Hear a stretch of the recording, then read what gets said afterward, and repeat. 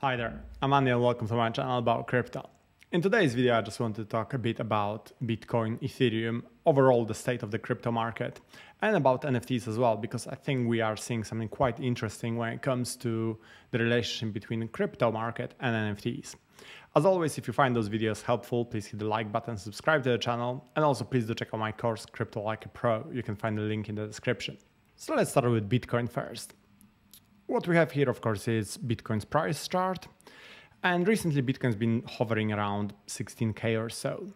But I think what's really interesting, probably for most people, is where is the bottom, how low it will go. And at the moment, we have quite a few indicators which would, which would suggest that the bottom is already in or we are going to hit it very, very soon. But I think what's quite important is to look at the volume. So if I move the price out of the way a bit, and if you look at the volume, so basically those vertical lines at the bottom, you can see that when FTX collapsed a couple of weeks ago, this was basically the highest volume we had since the beginning of the pandemic in March 2020. We had a couple of other quite big spikes, but nothing of this magnitude. So all of those crashes here, including the beginning of the war in Ukraine, didn't cause as much of a spike as the collapse of FTX. In other words, for another big drop in price, we would need an event of a similar magnitude. Because I think it's sensible to speculate that those who are likely to sell already sold, right? Not many people held, given the volume here, during that collapse.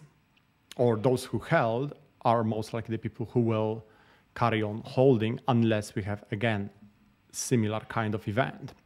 And this drop was, if you look at the price, this was about 28% drop.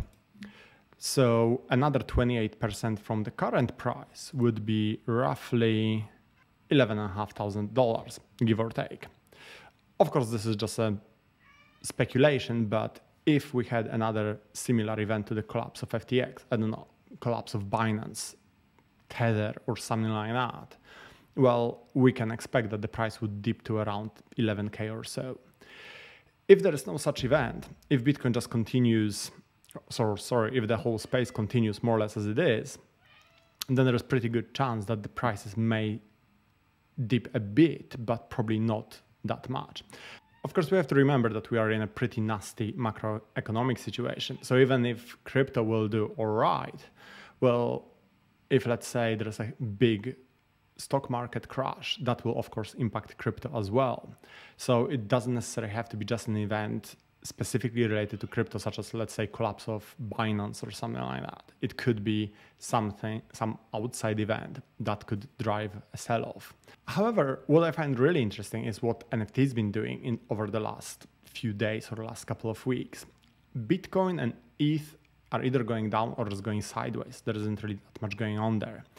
But there seems to be a lot happening in the NFT space. And I mean both actually projects doing stuff and also some activity and essentially prices pumping, even if no one knows exactly what's happening with a particular project, if that makes sense. So we have projects like Cypher or Collider Craftwork under Cyphers.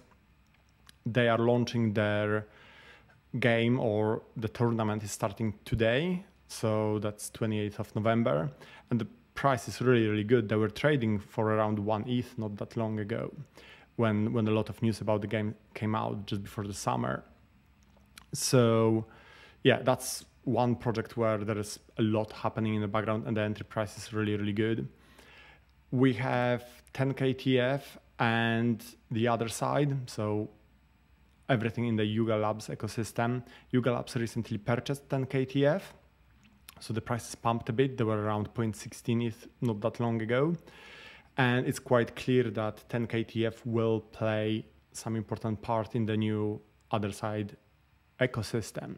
What that part is going to be, we don't know yet, but again, it's quite interesting to see that there is something developing there. There were hints that there will be another trip to the Otherside, so another tech demo in Q4. I mean, we are pretty much at the beginning of December now, so it's highly likely. And if you look at posts on Yuga Labs website or Bored Apes, sorry, their Twitter, uh, you can see that there is they're hinting that something will be happening quite soon. So I think we can expect another tech demo very very soon. And from what I heard from one of the interviews with with Yuga Labs, apparently a fully playable version of Otherside is coming in 2023. Well, 2023 is just around the corner. I appreciate that I didn't say when in 2023, but we are not looking at I don't know three to five years time frame. Uh, this is really coming very very soon, so it will be really interesting to see how it will impact Otherside and 10KTF. Then we have plenty of other projects. I mean, Mutant Ape Yacht Club, of course, not a cheap project, but the floor price was around 11 ETH just a couple of days ago. It's now up to 14. It's quite a ni- nice bump. Neo Tokyo has been pumping a lot. Again, it's another project where there is something happening. If you know the history of Neo Tokyo, you may know that there were a lot of riddles before the first mint. So similar thing is happening now. Alex Becker, one of the founders of Neo Tokyo, has been hinting on Twitter that there is something happening again. He said it multiple times before that there won't be another season of Neo Tokyo. So we have season one season two, Citizens and Outer Citizens.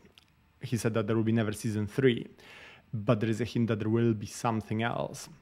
And the price of Neo Tokyo Citizens went up quite a bit. I made a video not that long ago, and this was one of the projects I mentioned. The floor was around 6 ETH, it's now 9. And Outer Citizens, which were around, I think, 0.8 ETH, if not lower, are now 1.1. So the prices are going up, but they're still nowhere near, of course, what there used to be in the bull run.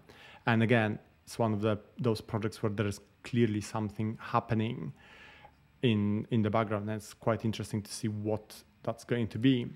And then we have the, this project, which is quite an interesting one. It's actually I first heard it from my wife. Uh, the memes by Punk six five two nine and they had a massive pump recently over like the last week or so. The most expensive one, Freedom to Transact, was I think around three or four ETH about a week or so ago. This one was around one ETH. I think first time when I looked at it, it was like 0.3 ETH or 0.5. A lot of those pumped like crazy in the last few, literally a week, week and a half. And no one knows exactly what what is the plan with this project. There, that's season one memes, and there will be a few more coming out in in December, and then in January there will be season two starting. And if you haven't heard of Punk six five two nine, it's definitely worth following him on Twitter. He's he's a very smart guy. He's a huge huge NFT collector. I mean, you can check out his NFTs on OpenSea. They're literally millions, if not tens of millions worth of NFTs there.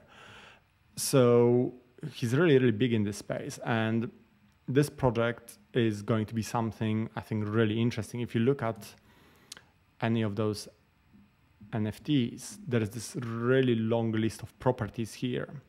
And it's not very clear what those properties, what role they will play in the future. Is it all just a joke? Is it is there something important there? What, how exactly all those all those um, cards will link together? So, yeah, it would be really interesting to see what what will happen there. So overall, what I wanted to say is that we are in this phase of a bear market where I think all the flippers, all the people who just wanted to have really quick profits, were pretty much washed out. I mean, there are still, of course, opportunities to make, make quick profits, and I'm sure that there are still plenty of people still doing that, but they are no longer the majority of people in crypto and NFT space. I think people who are around now are those who believe in in this space over a longer period of time, or people who are actually creating something in this space. And the atmosphere, I think, is quite different now. If you go into many discords, especially the more established ones, no one is bitching anymore about prices going down and stuff like that. It's more about well okay, what's happening now and where are we going in the future rather than just whining about oh, why the floor price is today a bit lower than it was yesterday. So it feels like we are getting very close to the bottom of this bear market. It may still take a while, but the atmosphere is certainly changing. And yeah, it's quite interesting how NFTs seem to be decoupling from from the rest or well, from the traditional crypto market, if there's such thing as a traditional c- crypto market.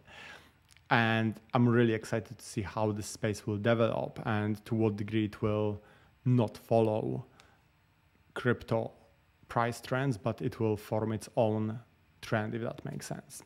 So yeah, slightly different video this time. Crypto is not really doing that much in terms of price action, so I thought I will focus more on NFTs and just the space overall. And I think that's it from, from me for today. Thank you for watching. See you next time. Bye.